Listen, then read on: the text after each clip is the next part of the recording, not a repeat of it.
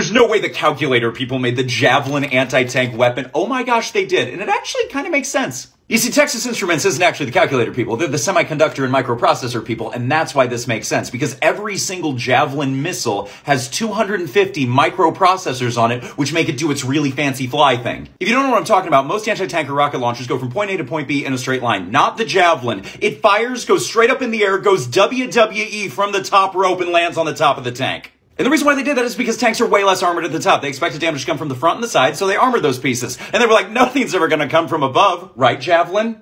You're goddamn right. So that's why it kind of makes sense that Texas Instruments designed the Javelin. And to be fair, when I hear the words Texas Instruments, this is mostly what I picture, and it makes me terrified of a Texas orchestra. Hey, General Electric, what you making there, bud? Aw, I like things that spin. Aw, buddy, what spinning things have you made? Oh, you know, like washing machines and hydroelectric plants and jet engines, and then the Gatling guns to put on the jet engines. Oh my lord, what does it shoot? It fires this at 65 rounds a second. The little one, right? The little one? Nah, the big one, and it comes in explosive versions. General Electric, what happens to the people? They become a red mist. That's why we have the washing machine. I like things that spin. Hey Glock, what are you making, buddy? Well, we make the 45 and the 9mm and the 380 and the 22. Do you make anything that doesn't hurt things? Horse insemination. What? Horse insemination. Oh, that is some powerful eye contact, but why? My father always told me eye contact is an important part. No, I meant the other thing. How are they related at all? They're both about shooting things into other things. Gross. Why? Because we like horses and we don't like people. You ever met a horse you didn't like? No. You ever met a person you didn't like? Yeah. I see your point.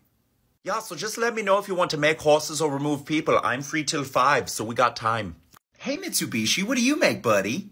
Uh, I make things that share things with other people. Yeah, like what? Uh, we make cars and freezers that can share food with other people, as well as escalators and elevators. We also make robots, which is cool. Cool. Anything else? Nope, just zero. Nothing more? Uh, no, the Zero, which ironically has two of a lot of things. Two 20 millimeter cannons, two 303 machine guns, and two 130 pound bombs. What does that share with other people?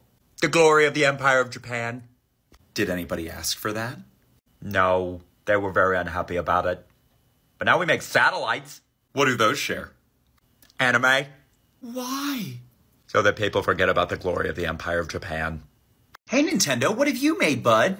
Uh, we make video games and children's toys. We used to run a taxi cab service and have love hotels. Uh, we also used to make playing cards. What were the love hotels used for?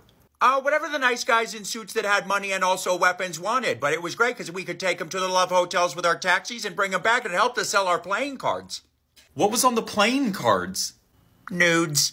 This doesn't still affect the things you make today for children, right? Uh, have you ever played Paper Mario or any Metroid game? We have an entire series called Smash. Do you not know that? Please stop.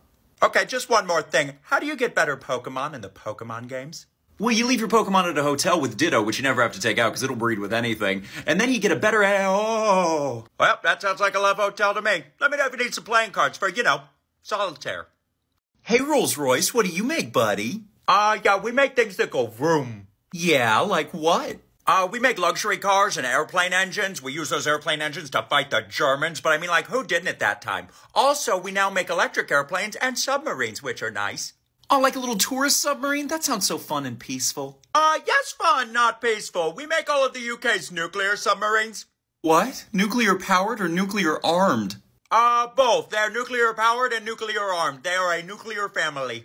How does that go vroom? Well, because the propellers go vroom, and when the nuclear missile launches, it goes vroom into the air. And then when people see a nuclear missile coming, they get in their cars and they go vroom to get away from that. And then when it hits the ground, it goes vroom. That's not vroom, that's boom. Ah, uh, that makes sense. I'm gonna add that to the PowerPoint. Hey, Ball, you still just make mason jars, right, buddy? Oh, we actually sold that part of the company. We don't do mason jars anymore. Oh, well, what do you guys make now? Uh, we still do canned packaging, aerospace engineering. We also have a new aluminum party cup that is very recyclable, which we think is fun. What was the middle one? Aerospace. That includes human machine interface as well as lasers.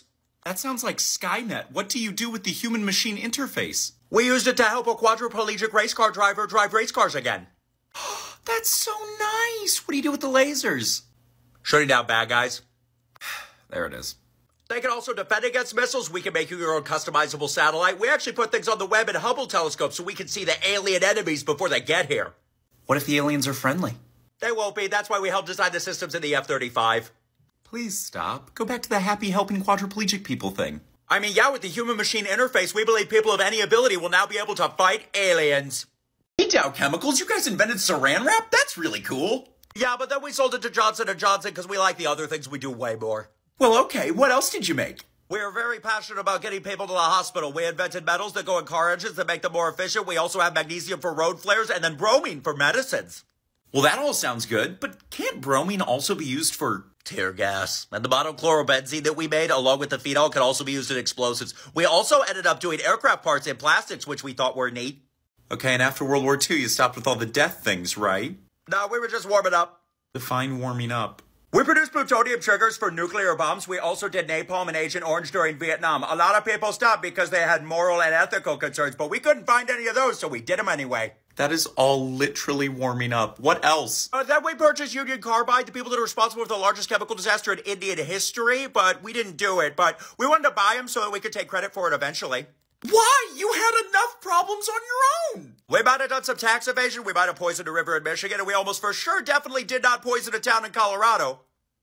Have you made anything since saran wrap that actually helps people? Uh, yeah, we made silicones. How does that help?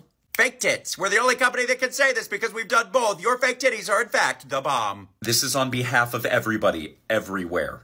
Why did you do this? Wait, was I the villain? Hey, Subaru, what do you make, buddy? Uh, we started out making scooters out of airplane parts, but apparently now we just make cars for lesbians, which doesn't make a lot of sense to me. Like, how do you make cars specifically for lesbians? I'm honestly not sure, but what else do you make? We make the AH-64D Apache attack helicopter. What? Why? Oh, we make them specifically for Japan, which makes sense because we used to make them planes during that big war thing that we don't like to talk about. You didn't bomb Pearl Harbor, did you? Subaru? And we also made anime. Why did you make an anime? So that people forget about that time we bombed Pearl Harbor. Hey, Samsung, what do you make, buddy? Yeah, we make cell phones and washing machines. Do you make anything that blows up on purpose? Yes. What? We make the K9 Thunder self-propelled artillery. You make a gun that shoots dogs at people? Nah, it shoots 155 millimeter artillery shells, roughly 60 kilometers. Isn't that almost the exact distance from the South Korean capital to the North Korean border? What? That's crazy. What a totally random coinky dink. What else do you make? Oh yeah, we make computers, printers, refrigerators, washing machines, high polymer chemicals. We do nanotechnology, biomedical engineering. Is there anything you don't do? Though we've been accused of it, we definitely don't have slush funds and control people in the South Korean government.